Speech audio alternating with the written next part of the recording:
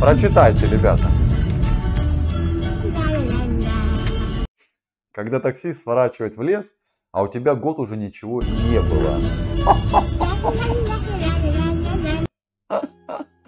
Представляете, этот э, чаечка садится в такси к незнакомому возгенчику. Кстати, всем здорово, Саныч на связи.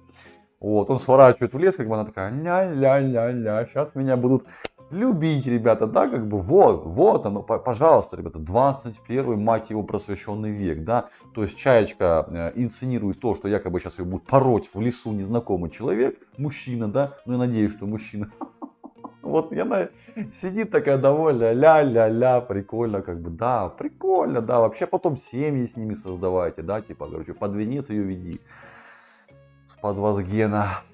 Нет, нет желания.